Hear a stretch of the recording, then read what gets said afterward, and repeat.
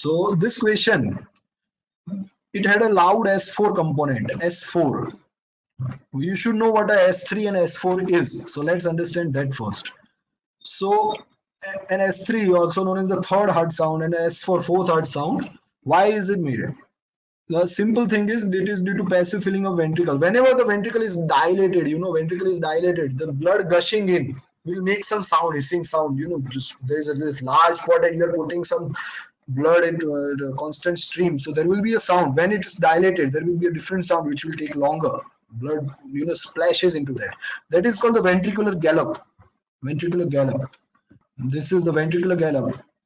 And uh, it's seen in systolic heart failure because in heart failure, basically the heart dilates in uh, high output states, which basically means the same thing. Then in the fourth heart sound, you always hear a fourth heart sound in the reverse thing, reverse then S3. Whenever your heart, uh, your ventricle wall is stiff, like suppose this was your ventricle wall, if it becomes stiff and becomes this small, and the wall is so thick, so that you know whenever you are uh, throwing the blood towards that stiff ventricle, and due to atrial contraction and the ventricle goes on to stiff ventricle, that makes a that you know annoying sound which is known as S4, which we all have to learn and this can be normal in older adults but this can be also due to some stiff you know basically in older adults the ventricle becomes stiff. That's it. That's they mean with healthy older adults. They are not healthy of course. This is called the atrial gallop sound. So what did we what were we asked here?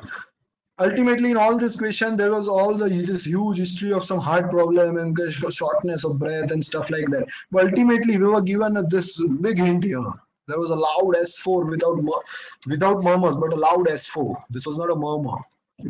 Okay, so uh, S4. So yeah, and we were asked what would be the myocardial changes. So for this, you need to understand what is parallel hypertrophy and what is uh, series hypertrophy. So for that, I have this wonderful figure. This is what I meant by uh, you know stiff ventricle. This is what I meant by dilated ventricle. So in this hypertrophy, First of all, let's see this hypertrophy, eccentric hypertrophy it is called. Just a minute, just want to change my pen. Um, this is the eccentric hypertrophy. In that the fibers are laid parallel. This is one fiber, this is another fiber, or not series, I mean series. And this is a third fiber. So they are all in a series, guys, series. So, you know, this this was the one, this became two, then came three. So ultimately the heart you know, is dilating. So that's a little bit of logic. And here you can see this was the one fiber. Upon it came the second. Also adjacent to that same thing happened. This was parallel which is seen in concentric hypertrophy. Now we are s4 in thick ventricle. Which of these both are thick? Concentric hypertrophy right?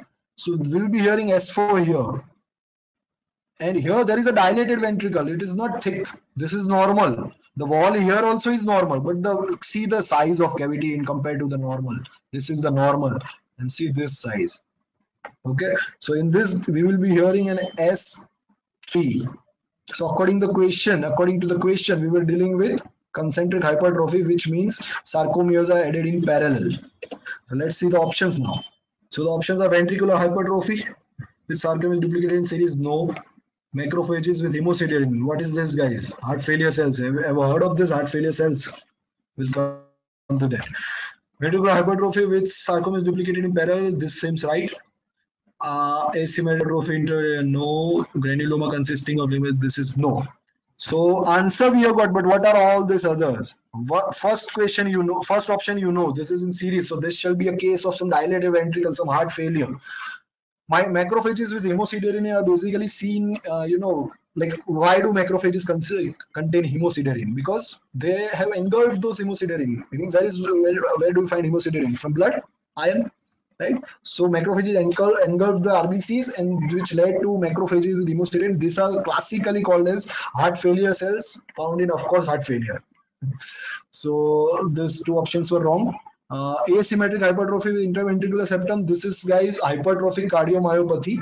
You should have learned about this. This is a beta globin heavy chain gene mutation where there is you know irregular hypertrophy of the heart and person suddenly suddenly collapse collapses in front of nowhere. Then there is a granuloma consisting of lymphocyte, plasma cell, and macrophages.